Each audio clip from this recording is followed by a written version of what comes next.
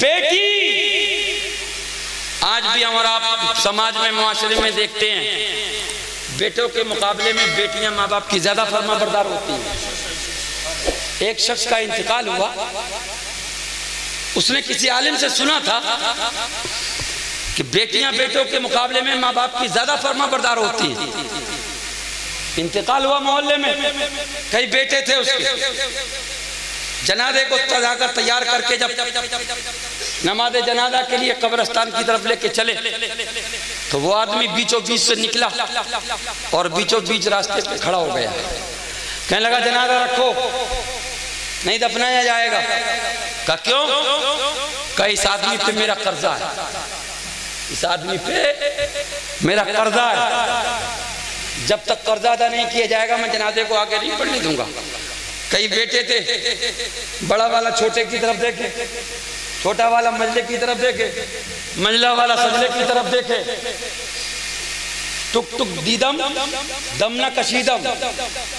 सब खामोश हैं, बेटे हैं, मंसूबे बना रहे थे। जल्दी घर जाएँगे, पासबुक ढूंढेंगे।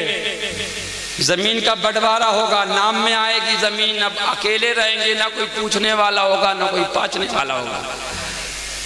बहुत देर हो गई। बात घर तक पहुँची।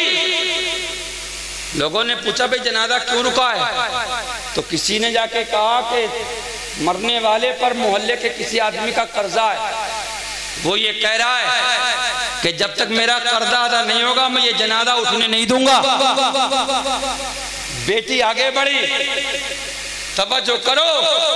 मेरे आका ने फरमाया अल्लाह जिसे बेटी अता करे और वो उस बेटी को दीन के साचे में ढाले।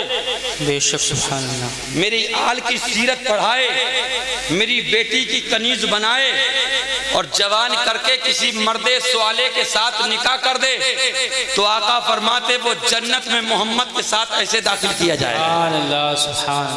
जैसे दो उंगलियाँ मिली हुई हैं। मेरे आका फरमाते कि जिसे अल्लाह ने एक बेटी दी और उसने दीन की इस सांचे में तरबियत करी और उसे दीनदार से निकाह कर दिया। आका फरमाते उसके लिए मेरी शफात वाजिब है। सुभान अल्लाह सुभान दूसरे खड़े होकर कहा या रसुल्ला जिसके पास दो हो। आका फरमाया उसके लिए भी। तीसरा खड़ा हो या रसुल्ला जिसकी तीन हो।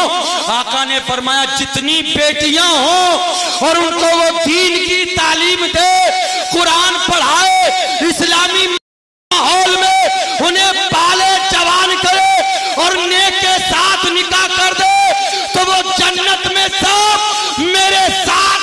किए जाएँगे और उनके लिए मेरी शफात वाजिब करार दे दी जाएगी। अल्लाह अल्लाह बहुत खूब माशाल्लाह सुभान अल्लाह। बेटी ने सुना तो कहा हमारे भैया अब्दुल रहमान नहीं है हुआ? कहा वो तो सबसे आगे। भैया किसी का नाम हो तो बुरा ना माने। और अब्दुल्ला कह रहे वो तो सबसे आगे। और का कल्लू का वो तो बिल्कुल ही किनारे खड़ा हुआ है। का मतलूब का वो भी है। का फिर का सब एक दूसरे को देख रहे हैं। अल्लाह अकबर।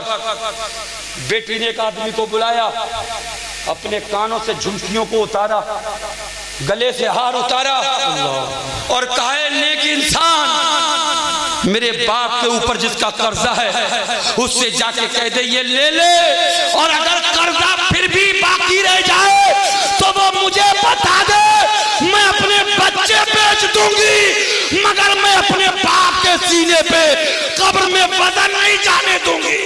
ये पैगाम लेकर जब वो इंसान उसके पास पहुँचा तो उसने उस जेवरों को देखा और कहा नहीं ये तो सब गलत है इस मुर्दे का मेरे ऊपर कर्जा था और इसने ये कहा था जो मेरा वारिस हो उसे दे देना।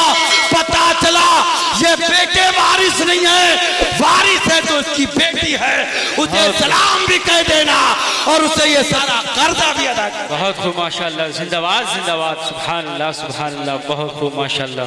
बेटियों की पैदाइश पर मुँह बिगाड़ने वालों बेटियों की पैदाइश पर रंजीदा होने वालों एक बेटी सत्तर लोगों का रिस्क अल्लाह के यहाँ अपने अपने साथ लेके आती है। सुभान अल्लाह जिस घर में बेटी होती है अल्लाह के हबीब फरमाते हैं। अल्लाह ताला उस घर में सत्तर रहमतें सुबह को और सत्तर रहमतें शाम को नाजिल फरमाते सुबह अल्लाह बेशक। और बेटी का बाप गरीब तो हो सकता है, मगर गलीज नहीं हो सकता। तुम्हें उससे वजीरी का वास्ता। खुदारा अपने बच्चों को दीन की तालीम से माला माल कर दो। अपने बेटों को गुलाम हुसैन बना दो और अपनी बेटियों को कलीजे फातिमा बना दो।